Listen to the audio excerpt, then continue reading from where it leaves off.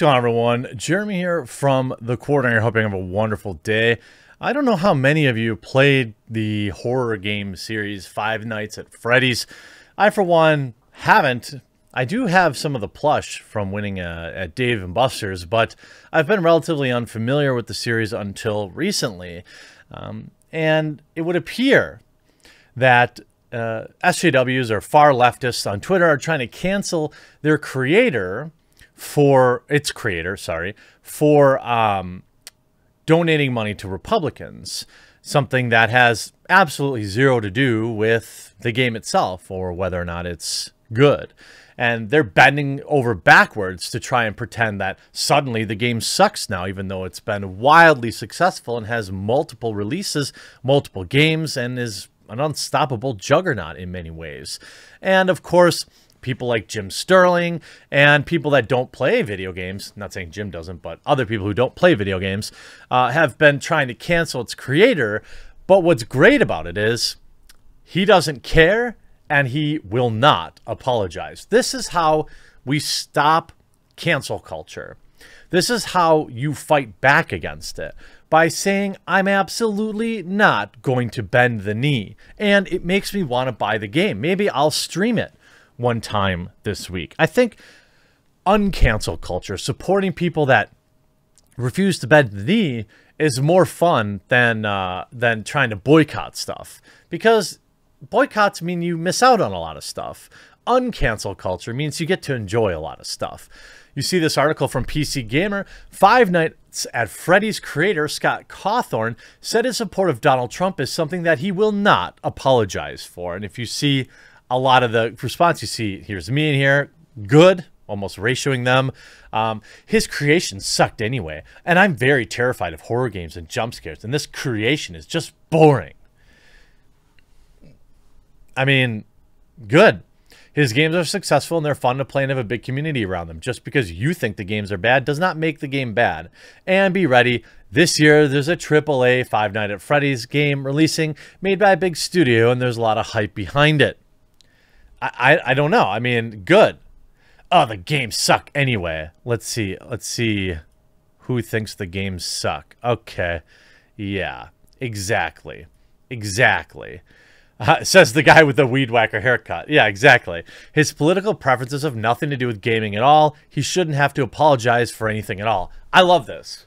I am so filled with hope that the larger gaming community is is rising up and pushing back against this nonsense that it doesn't matter. Look, I know that you know companies like Ubisoft and and um, many others uh, heck, how about Wizards of the Coast? Are wildly progressive. But if the game's really good, then you shouldn't deprive yourself of it. Really, you shouldn't.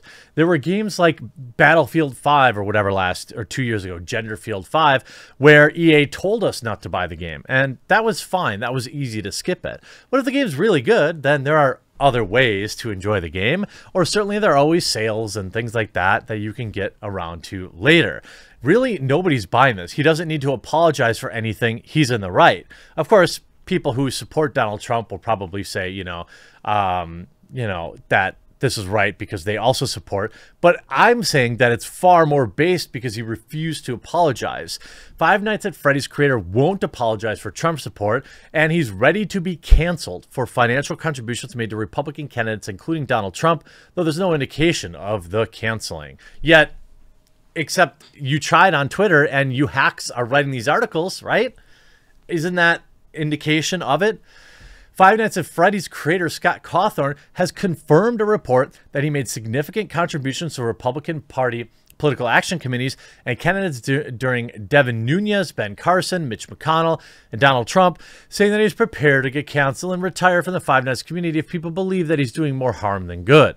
Some of Cawthon's publicly available donation records were shared on Twitter on June 10th and can be seen on OpenSecrets.org. It's, re- it's Republican across the board except for a $2,500 donation to Tulsi Gabbard. So it's not Republican across the board. By the way, these amounts of money, the amounts of money that people are bent out of shape with are tiny. It's like 2,500 bucks here, 2,500 bucks there. Tiny in comparison for a guy that's probably a hundred millionaire. I mean, a lot of money for any one of us to donate, but for him, relatively small. Um, reaction in the community was largely negative, but I thought there was no attempt to cancel him, particularly among members of the LGBTQ community, which makes up significant portion of the Five Nights fan base. I doubt that. The LGBTQ community does not make up a significant portion of almost any community. It seems unlikely that they would make up a significant portion of a video game community that is not directed towards that community in any way. I mean, you could argue that the LGBTQ community is a portion, a significant portion of people that play some sort of video game about pride or something like that. But Five, Night, Five Nights at Freddy's, from what I understand, has nothing to do with one's orientations or anything like that. Uh, Cawthorn acknowledged that disappointment in the message to Reddit earlier today, in which he confirmed that the donation reports are accurate. To say the last few days have been surreal would be an understatement, he wrote. I've debated greatly how to best address this, including not addressing it at all, but with so many from the LGBTQ community and the fanbase that I love, that's not an option.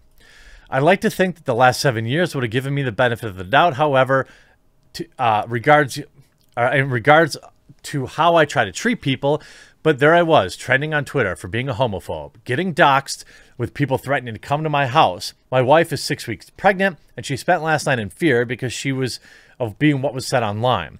She already had been struggling with her pregnancy, so seeing her afraid really scared me. All this because I exercise my right and my duty as an American citizen to vote for and support candidates who I felt who could best run the country. For everyone, and that's someone that I won't apologize, something I won't apologize for. That's awesome. Absolutely love to see it. Cawthorn said the candidates he supported included men, women, white people, black people, Republicans, and Democrats. He was correct. And he specifically defended his backing of Kimber, Kimberly Klacik, um, because I believe she really cared for the American community, African American community, and they wanted to put them pull them out of poverty.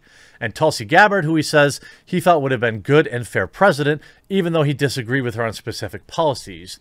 He also commented on what no doubt is the most controversial part of the report, his support of then President Donald Trump.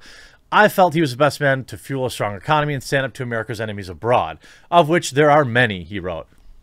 Even if there were candidates who had better things to say to the LGBT community directly and bigger promises to make, I believe their stances on other issues would have ended up doing much greater harm to those communities than good.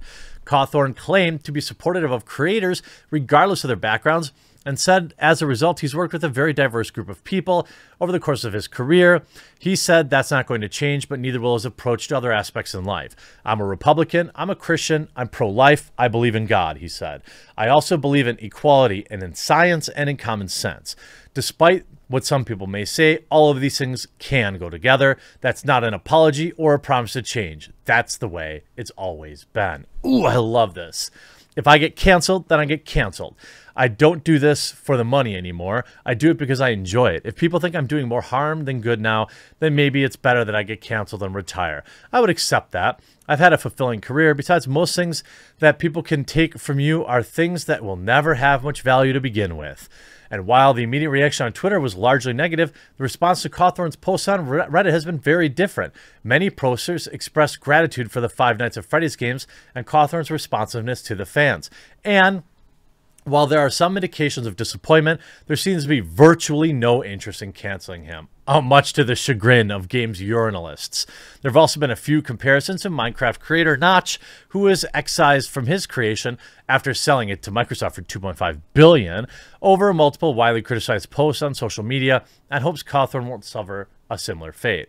It's like Minecraft without Notch, one wrote about Cawthorn's possible censure.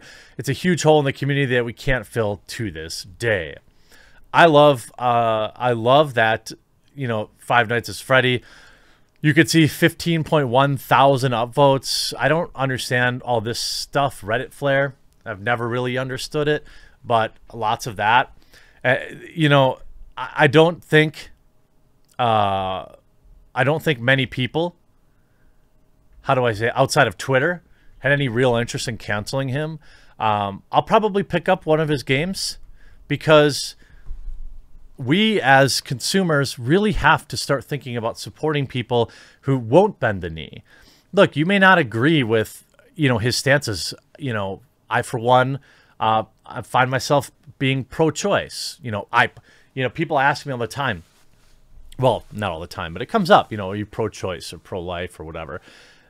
I'm pro humans making their own decisions. I'm pro the government not deciding what you can do with your body.